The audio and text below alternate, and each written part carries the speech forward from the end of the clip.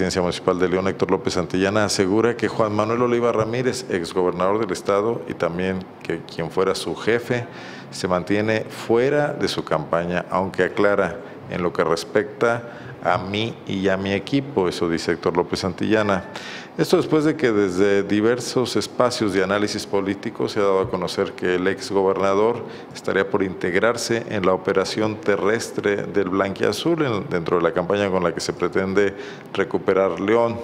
La presencia de Oliva Ramírez ya ha sido detectada, evidenciada, hay fotografías, hay elementos de prueba en municipios como Celaya y San Luis de la Paz, donde ha acudido para apoyar abiertamente a los aspirantes panistas. En León no ha aparecido hasta ahora.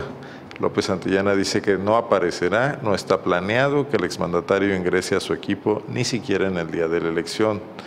También recordó López Santillana que en meses pasados se deslindó del propio Juan Manuel Oliva, a quien suplió en 2012 cuando pidió licencia para ser nombrado secretario general adjunto del PAN, quedando López Santillana como gobernador interino. Hoy dice, Oliva, si te he visto, no me acuerdo. Escuchemos. Yo desconozco, no he estado en contacto con Juan Manuel y conmigo no está. ¿En tu campaña no ha aparecido? No es claro. como asesor. No, o sea, lo digo, ni está participando en, en el equipo, ni me ha reunido con él, ni nada quedó muy claro desde el principio nuestra postura en ese aspecto. No se planea que esté en esta recta final en la operación electoral de tierra del día B. No está planeado un, regreso para fortalecer la campaña territorial. Te diría ni, ni, contacto he tenido con él. ¿Podría estar participando Héctor sin que tú te dieras cuenta? En la, campaña?